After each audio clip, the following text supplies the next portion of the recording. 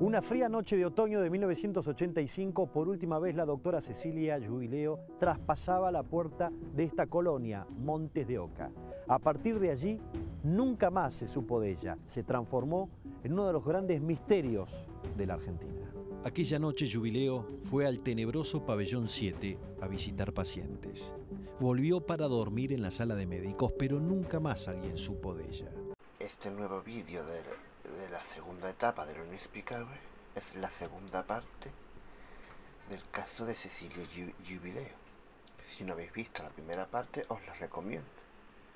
En, en, esta, en esta segunda parte veremos las, pistas acerca del caso, así como testimonios de los, de los testigos que, que la vieron por última vez, las distintas, las distintas teorías y cómo está el caso actualmente. Si no conocéis este caso o bien queréis recordarlo, ya sabéis.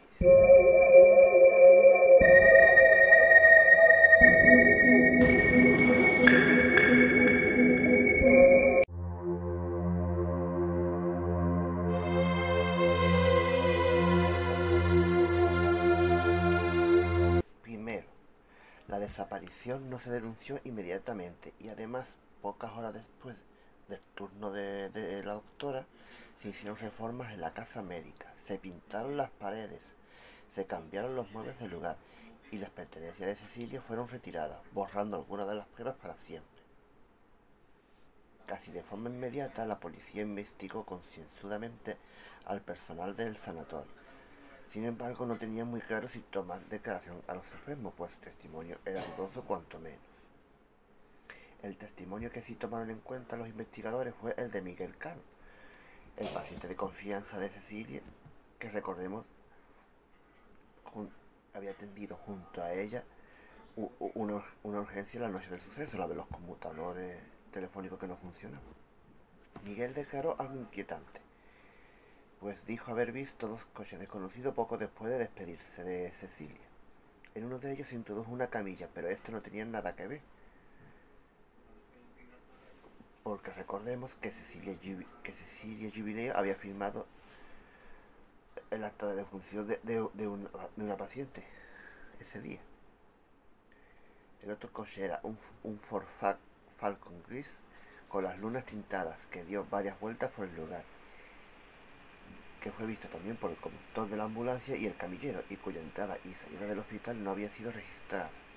Esto era lo que más preocupaba a la policía. La familia Jubileo, por su parte, contrató al abogado Marcelo Parrilli, o Parrilli para que investigara por su cuenta. Lo primero que llamó la atención del abogado fue la incongruencia de que el tanque de gasolina que Cecilia había llenado esa noche antes de ir al trabajo estaba vacío para cuando comenzó la investigación.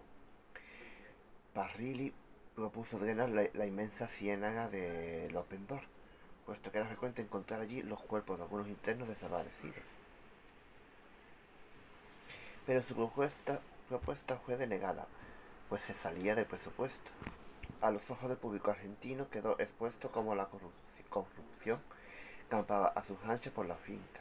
De los 1.200 pacientes que en ese entonces tenía la colonia, el 85% no había sido visitado por sus familiares en el último año. Finalmente se abrió un expediente contra estas circunstancias, a las que se añadían posibles casos de acosos a, a las enfermeras primerizas, incluso que algunas pacientes habían quedado embarazadas pero Eliseo Sánchez no, quedó exento de la controversia. Fue condenado y encarcelado a resulta de, la investigación y falleció en la cárcel tras publicar en 1992 el libro El desnudo de la inocencia, la verdad sobre la colonia Montes de Oca.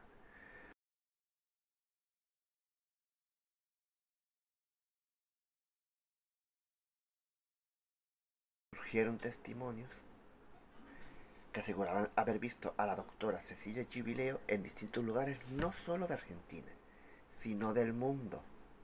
En relación a esto, en noviembre de 1985 apareció en la comisaría de Luján una cinta de cassette en un sobre anónimo. En la cinta, de muy mala calidad, alguien que aseguraba ser Cecilia pedía que dejaran de buscarla puesto que estaba bien y rodeada de amigos. Se había ido de retiro espiritual al extranjero y jamás volvería a Argentina. Otro de los móviles que se barajó para responder a la anima del caso fue el político, puesto que recordemos Cecilia Jubileo había sido activista de, izquierda, aunque nunca se pudo encontrar una prueba sólida que vinculara a esta causa la, desaparición de la doctora. Se habló también de un secuestro con fines lucrativos, pero jamás se reclamó un, rescate y los 3.000 dólares de la época que Cecilia tenía ahorrados y guardados en una caja de maicena estaban intactos en su domicilio.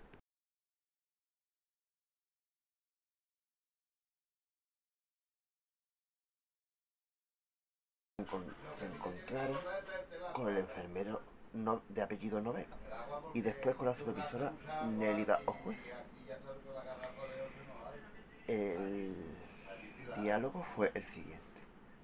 ¿Alguna novedad, doctora? Le preguntó eh, el enfermero Novelo. Vengo del pabellón 7, atendí una urticaria gigante, respondió Cecilia. Poco antes de llegar a la casa médica, la detuvo la supervisora Nélida.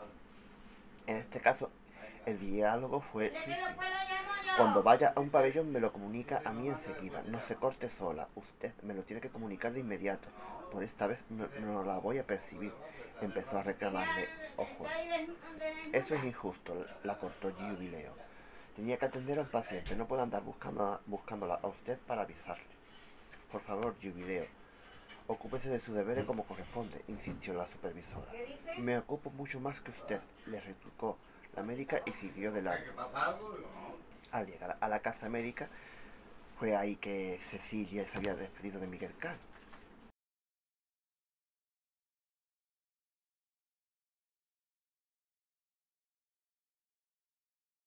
Pasados 25 años de la desaparición de Cecilia, en 2010, Francisco Merino, un exnovio de la doctora, además de su amigo y confidente, rompió su silencio recordando cómo ella insistía en que el trato a los enfermos era desastroso.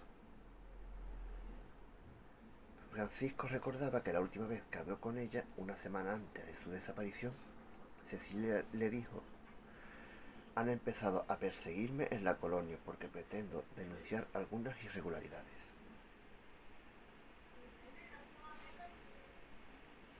le habló también de que a varios internos les sacaban las córneas. Para luego, para luego llevarlo a una caldera. La doctora hablaba además de órganos y estaba asustada. Julio Acevedo, ex compañero de Cecilia y actual presidente de la Asociación de Trabajadores del Estado en Luján según él, para un óbito orgánico hace falta un lugar personalizado, personal especializado y compatibilidad genética. En ningún pabellón de la colonia se puede hacer ablación de órganos, pues serían para tirarlo a los, a los chanchos. El abogado de la familia, Marcelo Parrilli, coincide en que es estúpido hablar de, de tráfico de... ya sabemos qué, puesto que no había ni capacidad quirúrgica ni higiénica en la, colonia. Lo más probable es que hubiera mm, circulación, ya sabemos, de personas. Tranquilamente podía llevarte a un, a un tipo y tomar sus órganos donde a vos se te ocurriera sin que nadie se enterase. El, el sanatorio Open Door o colonia Dr. Manuel Montes de Oca sigue abierta y funciona con normalidad pero el acceso es, es difícil, puesto que hay medios de comunicación que respecto de este caso intentaron acceder sin éxito. El caso ha quedado sin resolver. La potestad de aquel momento le pertenecía a una sola persona, para algunos un dios, para otros un demonio. Me ayudaría muchísimo que me dejarais un comentario y un bonito me gusta, que ayuda para seguir creando este tipo de contenido. Y sin más que añadir, nos vemos en un próximo vídeo de Lo Inexplicable.